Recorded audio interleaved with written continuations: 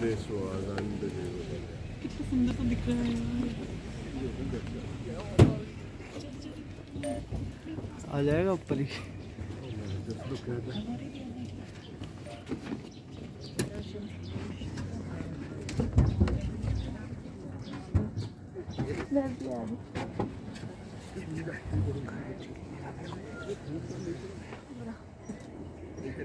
भैया प्लेस बंद रखा ना